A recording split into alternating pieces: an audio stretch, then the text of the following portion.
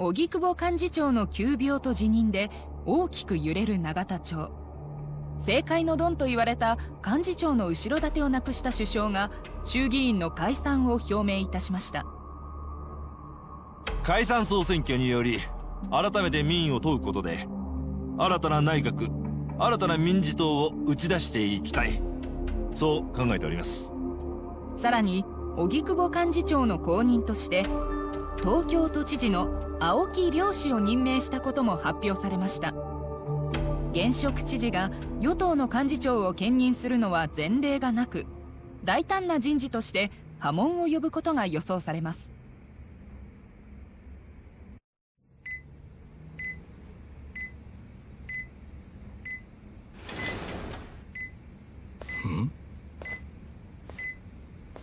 ご容体いかがですか？元幹事長。都知事ともあろう人間が字も読めないのか。面会謝絶だ。病院のルールを守れと。当たり前だ。病院の細かいルールをとやかく言う前にあなたはどうなんです？偽札作りは国のルールを根底から崩しかねない重罪ですよ。あの偽札が何人の命を救ったと思ってる？100や200では効かんのだぞ。道路や法律を作る政治家は5万といるがセーフティーネットからこぼれた人間を救える政治家はそうはいない。お前にそれだけの器量があるのか。あなたとは使い道が違いますが器量は持ち合わせていますよ。だからこうして引き継ぎの挨拶に来たんです。分刻みのスケジュールを縫ってね。都知事が幹事長を兼任するなど聞いたこともない。あなた方老人にとってこの先起こることは全てが前代未聞の出来事になるでしょう。だが一年も経てばそれがこの国の日常となる。それが私が作り出す新たなこの国の政治です青二歳が。青二歳ね。覚えていますか？10年前私が初めて政界に進出した釘戦のことを民事党の推薦を希望する私をあんたは罵った。ブリーチジャパンなど現実を知らない子供たちの学園祭だと言ってね。荻窪さんの選挙区は神奈川2区でしたね。次の総選挙ではブリーチジャパンからあそこに立候補者を立てます。もちろん民事党の公認候補として。どんな気分ですか？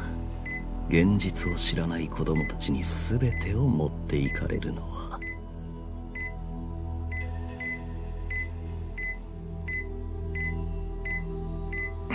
神奈川2区で我々の候補が当選するのは確実でしょう。まずは手始めに偉人町のゴミ掃除から始めなくてはね。あそこは不法投棄の温床ですから。彼らをゴミ呼ばわりするのか。いいえゴミ以下です。なんだと社会のセーフティーネットからこぼれた者たちと呼ぶべきですか？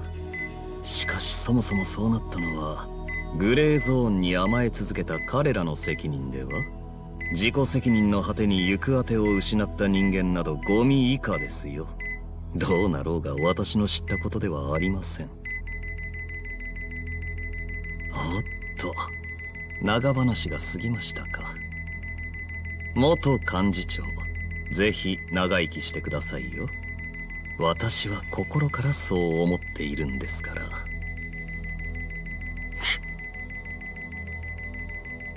綺麗に再開発された偉人帳が完成した暁にはその目で見ていただきたいので。そしてその時の元幹事長の顔を私もこの目で見たいので。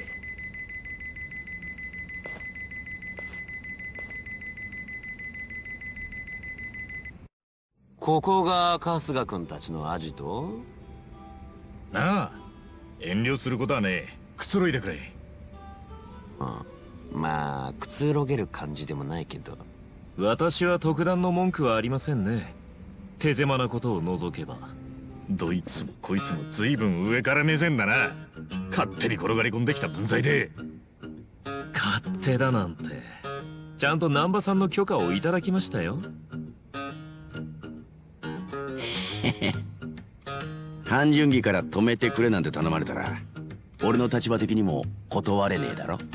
まあコミジュルが燃えちゃったわけだしね。他の仲間はどうしてるの？現在監視システムの復旧に努めていますが完全復旧にはまだ時間がかかるでしょう。家が焼けた半純義はともかく蝶までここに引っ越してくることはねえだろう引退した俺がいつまでも京浜飯店に住むわけにいかないでしょ示しがつかないからね。だから俺も家なしなのよ。だからって揃いも揃ってうちに来るか？人が集まる場所には情報も集まります。ここを有意義に活用していきましょう。情報か。その後ブリーチジャパンの方はあんだけ暴れまくったんだから警察も動いたんじゃねえのか？警察？春日君ニュース見てないの？そういやここんとこ見てねえな。コミジュルの一件でブリーチジャパンは偉人帳や日本中で株を上げたよ。はあ？テレビも新聞も報道はこう警察さえ手出しできない不法占拠集団コミジュそこに危険を顧みず突入した勇気あるブリーチジャパン。ってね。そんなの随分偏った言い方だな。それだけじゃありませんよ。ブリーチジャパンに抗ってコミジュルが火を放った。そしてその火災で代表の小笠原が死亡したと。小笠原が死んだ？どういうことだ？俺たちは火災の後に小笠原を拉致って尋問しただけだろそうよあいつ近江連合に助け出されてまんまと逃げたはずよ。ってことはまさか。そのまさかでしょうね。おそらく近江連合に殺されたのでしょう。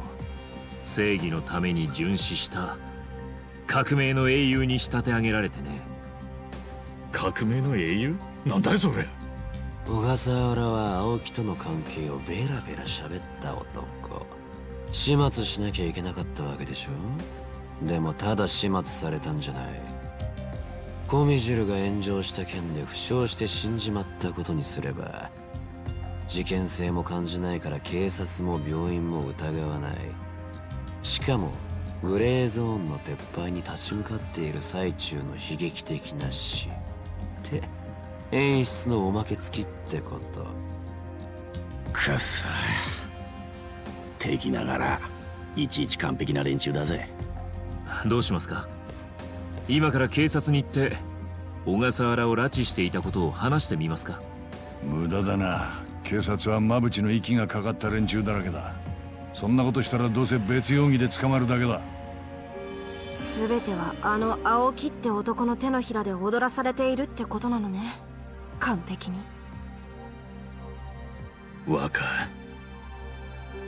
でも完璧って言ったってよ。ブリーチジャパンの連中がコミジルに乗り込んだのも不法侵入じゃねえかよ。うんそこは結果論ってやつかな。確かに不法侵入だけど今の世論の流れからそれを問題視する人はいないからね。警察も検挙しようがない。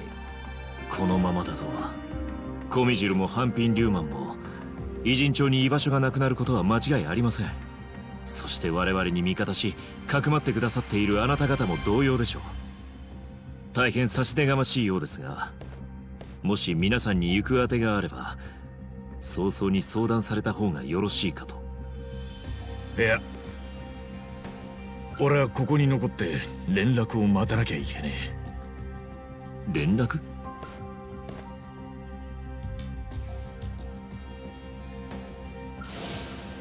荒川のおやつさんはそう遠くないうちにある博打を打ちます。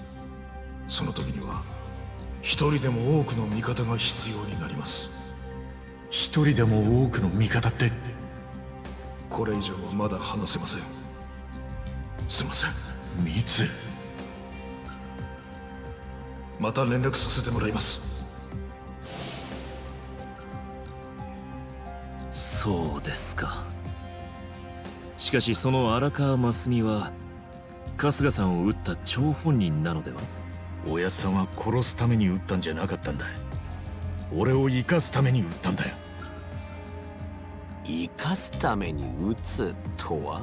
どういうこと？まあその話は長くなるから今度酒でも飲みながらやろう。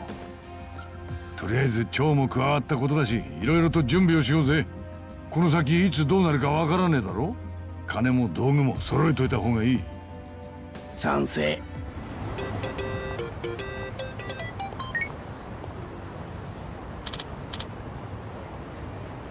おう